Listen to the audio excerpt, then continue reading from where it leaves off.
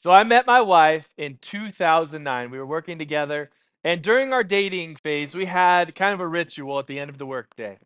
She lived out in the country and uh, on Oak Hill Road near Sutherlin, and we'd go walking in the evening uh, out the road, just talking and enjoying company.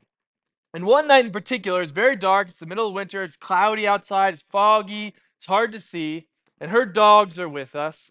And I just don't do animals. I don't get it. Like, I don't get the appeal. I'm sorry if you're an animal lover. Uh, God loves you too, but I just don't get it, okay? And so we're going on a walk, and I'm trying to engage her dogs so she doesn't think I'm some psychopath who hates animals. And we're on our way back to her house, and her dogs just take off into a field that's near her home. And I'm thinking, okay, they're excited to be home. Awesome. So I'll get some alone time, right? We'll get a one on one. Moments later, the two dogs come running back, but there's a third party in their midst. And it's foggy, it's dark, I couldn't see very well. And so I bent down to get a closer look, and I'm thinking, this may be a cat that the dogs are terrorizing. I'm going to show my compassion towards animals before my future bride. And I bend down to look at this thing, and out of the corner of my eye, I see my future wife dart up the hill like an Olympic athlete. She scrambles over a barbed wire fence, and I, I'm looking down at this thing. I see this out of the corner of my eye, and then I hear, That's not a cat! And I look at what's in front of me, and it was a skunk. And I'm feet from this skunk going, Here, kitty, kitty, kitty. And she's like, booked it up the hill. I darted towards her house. Both of her dogs got sprayed. I didn't get sprayed, luckily. But my behavior did not match the reality in front of me, right? If you have a skunk in front of you, you run or you get sprayed, right? I believe we can often do that same thing with Jesus. That though the reality of who he is may be right in front of us, maybe we're in scripture and we're in good Christian community and we're in relational prayer with him. You see, we can have all of the right words and all of the wrong beliefs. Does your behavior match the reality of who Jesus claims himself to be? If Jesus says, I am Lord, do you live a life of surrender to the Lord? If Jesus says, I am forgiving, when you mess up, do you run to him or do you run from him? If Jesus is the light of the world, are you living in light? If Jesus is the bread of life and living water? Are you coming to Him for nourishment and sustenance? You see, I think often there's a disconnect between who Jesus claims Himself to be and how His people live. And so today, we're going to continue our series, I Am. And my hope for you and I today is that we would align what we believe about Jesus with who he claims to be. Not who my twisted view of him is or who somebody else told me he is, but who is Jesus? And we're going to be looking at a passage in John 10. You can turn there in your Bibles. John 10. And Jesus is going to make the claim that he is a good shepherd, which means for you and I, we're sheep. And sheep are not the wisest of animals. Let me demonstrate. Sheep gets pulled out of the ditch. I'm free. No, I'm not. Okay. So, so this sheep gets saved by the shepherd and then goes right back in the same ditch that he fell into in the first place. Right? Is that not a picture often of us? Right? God pulls us out. And maybe you're here today and you think, man, I just keep falling in the same ditch. I hope that as we examine what it means that Jesus is the good shepherd, it compels our hearts to turn to him no matter what ditch we may be in. We all need the good shepherd. He's not just the good shepherd, he is a necessary shepherd. Right, and we're going to be in chapter 10. Now, last week, Paul went over chapter 9, and he kind of told the story of a man who was born blind. And Jesus heals him. There's this amazing thing. He's dancing around, he's super excited. And the Pharisees are not happy about this because this happens on the Sabbath. So they ask him, Who did it? Who healed you? And he's like, You guys remember the story, right? I, I couldn't see him, right? But ultimately, Jesus reveals himself, and they're not happy about it. They thought they were doing the right thing. They thought, We're defending the Sabbath, we're holding up the law, we're upholding the regulations. All the while, they were missing the one who was the fulfillment of it all. That's the backdrop of this conversation that Jesus is about to have. John 10, starting in verse 1. Truly, truly, I say to you. Now, anytime Jesus says truly, truly, it's like, listen up. Okay? This is important. You'll notice throughout the book of John, when Jesus makes an I am statement, there's often truly, truly right before it. So he says, Truly, truly, I say to you, he who does not enter the sheepfold by the door, but climbs in another way, that man is a thief and a robber. But he who enters by the door is the shepherd of the sheep. You see, in, in ancient Israel, there were two kinds of shepherds. Politicians and spiritual leaders were often considered spiritual shepherds of the people. And he said, There is a way that they have gained access to the sheepfold that is not the door. It's, it's not entering the way that God had planned. It's not the call of God. You see, often these leaders entered in by political ambition or influence and connection in, the, in society. And so they found themselves shepherding the people of God, but they weren't very good shepherds. And they had climbed in another way by political ambition and connection. And Jesus places himself in contrast with that. But he who enters by the door is the shepherd of the sheep. We're going to see Jesus throughout this passage continually placing himself in contrast to the religious leaders of the day. To him, the gatekeeper opens. The sheep hear his voice, and he calls his own sheep by name and leads them out. When he's brought out all his own, he goes before them, and the sheep follow him, for they know his voice. A stranger they will not follow, but they will flee from, for they do not know the voice of strangers. This is Jesus is saying, this shepherd, the shepherd that I am the good shepherd, he intimately knows his sheep. He knows them by name. You see, the Pharisees looked at the sheep and, and, and they, they looked at them with judgment and condemnation. Jesus is this tender care and love, provision and protection. The, sh- the true shepherd, the good shepherd, knows his sheep by name. They follow him, they know his voice. There's authentic relationship there. And he goes on, it says, This figure of speech Jesus used with them, but they did not understand what he was saying. This happens so much in the Gospels. It's adventures and missing the point, right? They just lost it. They didn't know what he was talking about. Jesus is contrasting himself to them, right? They just saw a man who was one of their sheep get healed of a lifelong illness, and their response is judgment. And Jesus is saying, that's not what that's not what the response of a shepherd should be. If you care for your sheep and they're healed, you should be rejoicing with them. So he goes on to continue to explain in their confusion. So Jesus again said to them, Truly, truly, I say to you, again, listen up. I am the door of the sheep. All who came before me are thieves and robbers, but the sheep did not listen to them. When he says, I am the door of the sheep, ancient shepherds, it wasn't a nine to five job. This is a lifestyle. You live with your sheep. You are constantly there to protect them. In fact, shepherds were known to sleep at the gate or the gap or the door of the sheep pen to protect the sheep, to keep them safe, that they might be present when predators come. he's contrasting. He says, I am that shepherd who lays at the door to be with the sheep. I'm going to protect them. I'm going to provide for them. I'm caring for them. I am present with them. All who came before me, though, were thieves and robbers, but the sheep did not listen to them. The Pharisees are sitting there listening to this, and he's calling them out. You're not here to care for the sheep. You're not here to, to provide and protect. You're here to take. You're a thief. He goes on. I am the door. If anyone enters by me, he will be saved and will go in and out and find pasture. The thief comes only to steal, kill, and destroy. I came that they may have life and have it abundantly. He says, here's another contrast. You shepherds, the Pharisees, you've come to only take. You're, you're plundering these people for your own selfish ambition. What does the good shepherd do? What does Jesus, as the door of the sheep, do? He's not about selfish ambition, he's about self sacrifice. He's laying his life down. I came that they may have life and have it abundantly. The Pharisees are taking from the people. Jesus is saying, I want to give you life. More than that, I want to give you abundant life. He goes on, I am the good shepherd.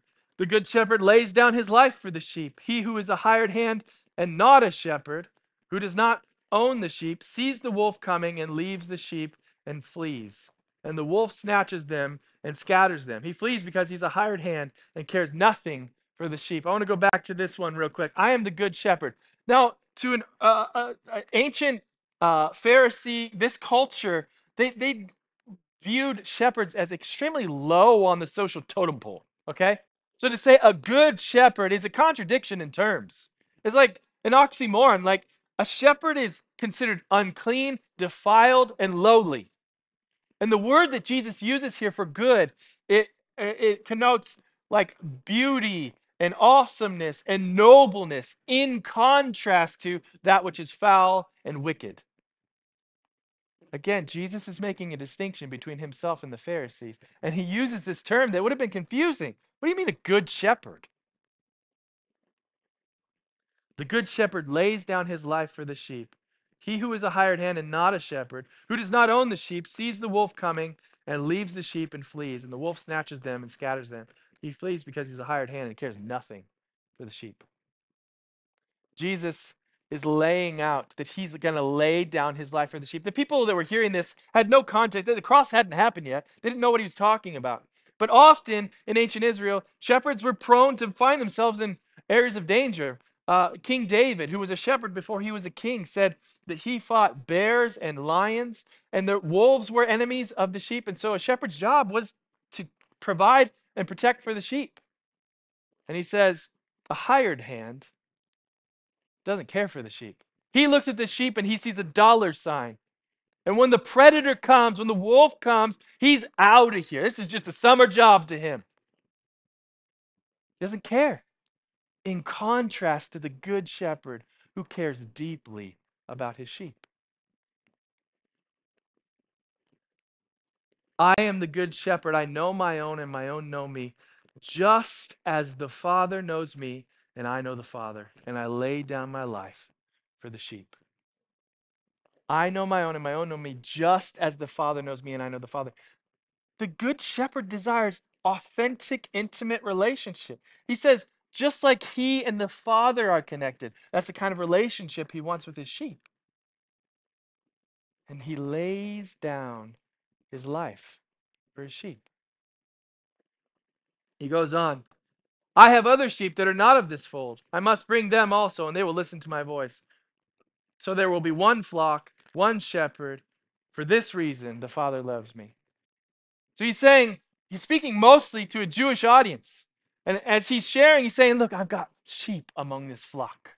I'm going to bring them in. They're going to come under the care and protection of the good shepherd. But I've got sheep elsewhere. You know who he's speaking about? Anybody who has not traced their heritage back to ancient Israel. He's talking about you and I. He's talking about the Gentiles having access to the forgiveness, love, and care of the Good Shepherd. He's, at, he's talking about you and I having relationship with the Father.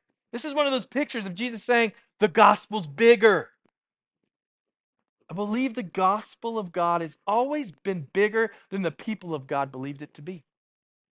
And as he says this to Pharisees who thought Gentiles like you and I were unclean and hopeless, that would have been a stark reality for them to process.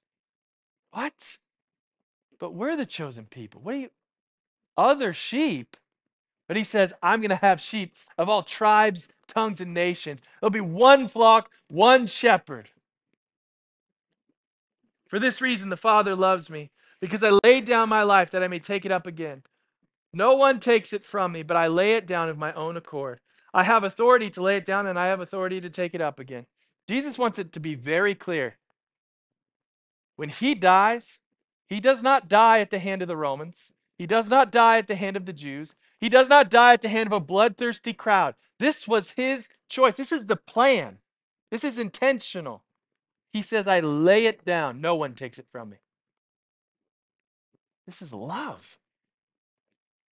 And he's sharing this beautiful piece of the gospel that the good shepherd will die for his sheep.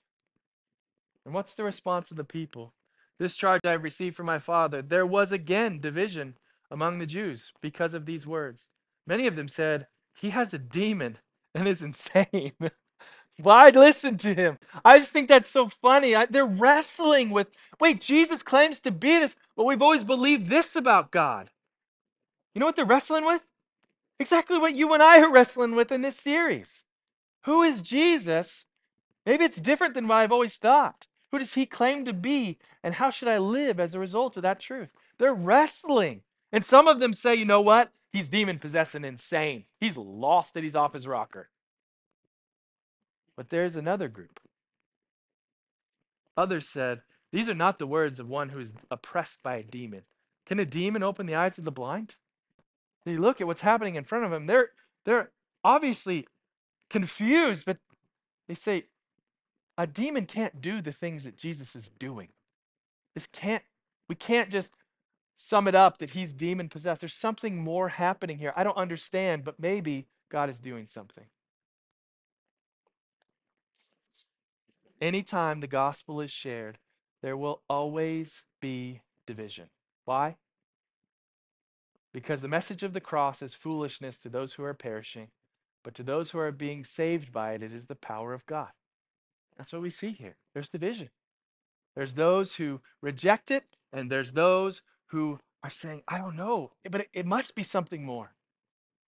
Anytime the gospel is shared, there will always be division. There's a few things I want us to draw out of this about who the good shepherd is. Firstly, the good shepherd knows you. Let's look at it again in the passage. He calls his own sheep by name. He goes on to say, I know my own, and my own know me, just as the Father knows me, and I know the Father. The Good Shepherd knows you. This is relational language. He, he deeply knows. You. He knows your name. He knows how many hairs are on your head. I got a lot of hair. He knows your fears. He knows your worries. He knows your joys. He knows your plans for your future. He knows the, the stuff that haunts you in your past. There's nothing that he does not know about you. You are laid bare before him. And I know that can sound scary. But you know what?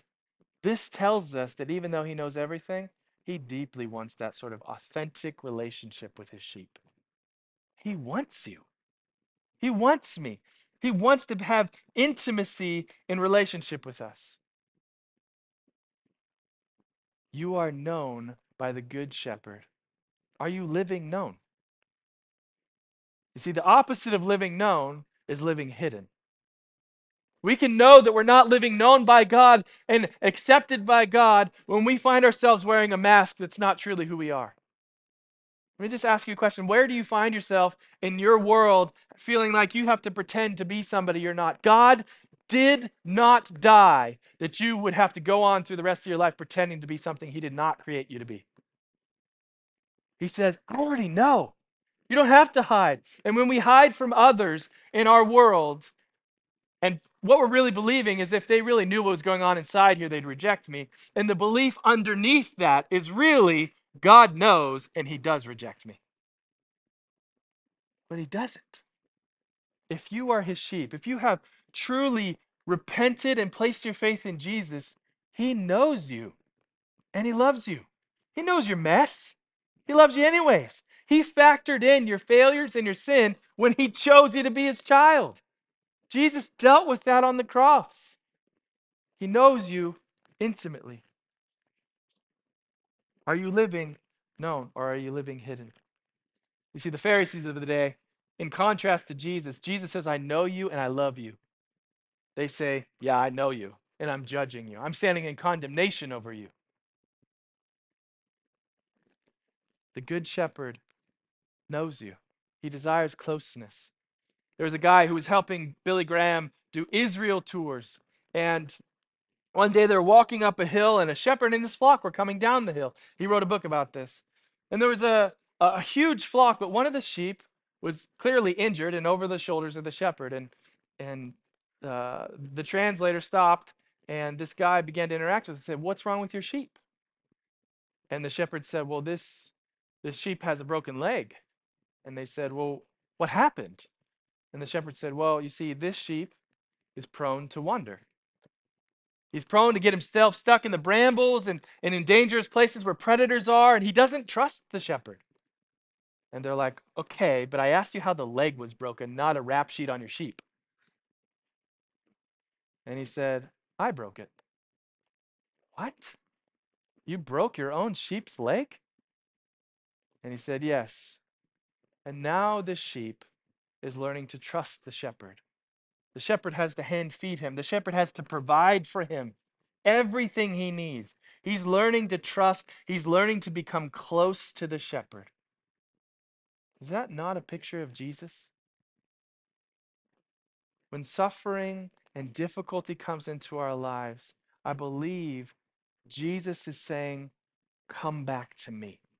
I believe Jesus is willing to break a leg to save a life.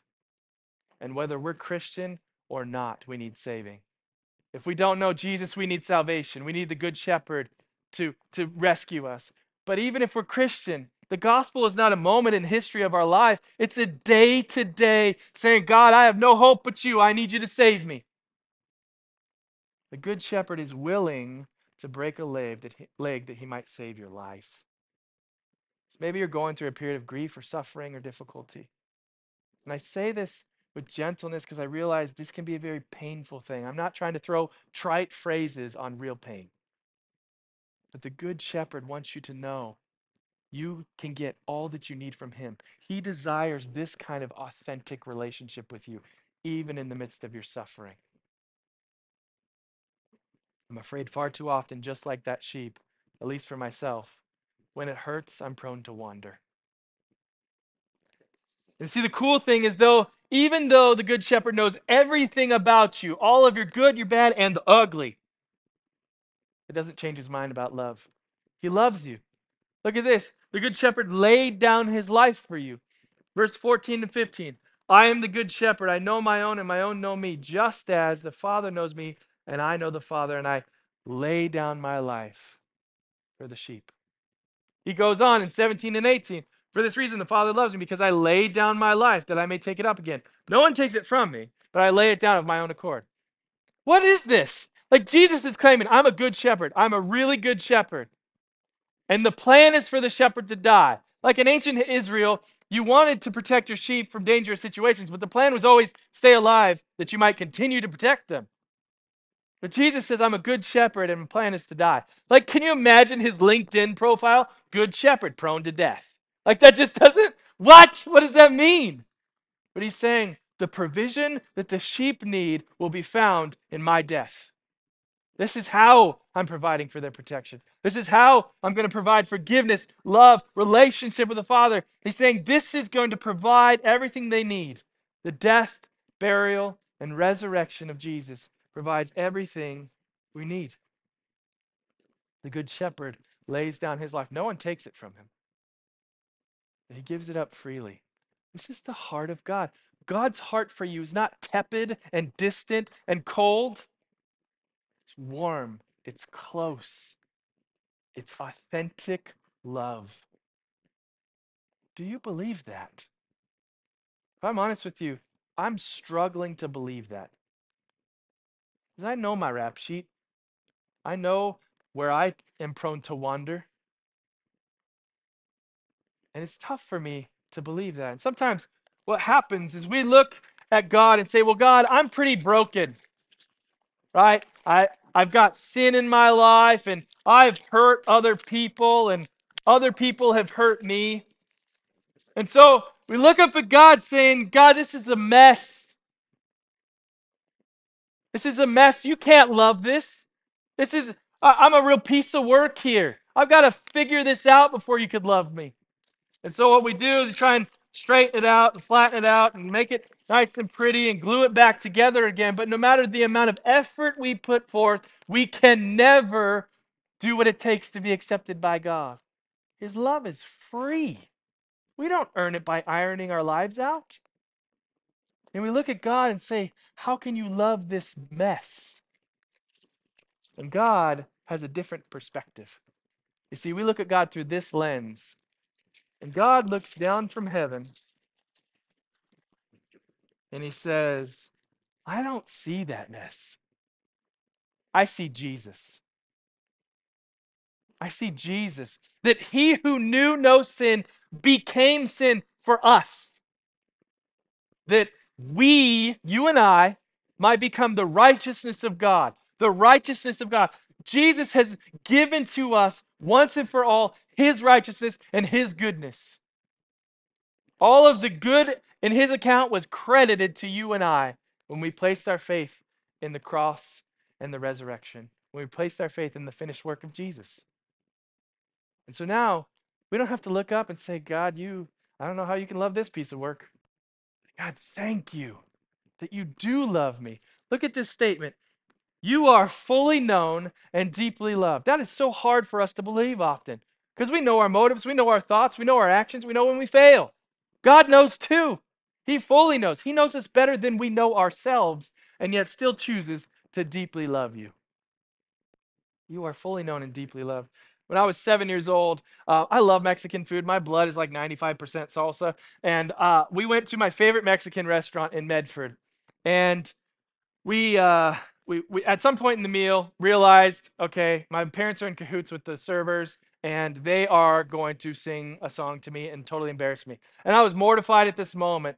And sure enough, here comes the trauma train around the corner with a sombrero and a camera. Okay? They put the sombrero on me. I turn beet red. They tell everybody in the restaurant to join in singing to me.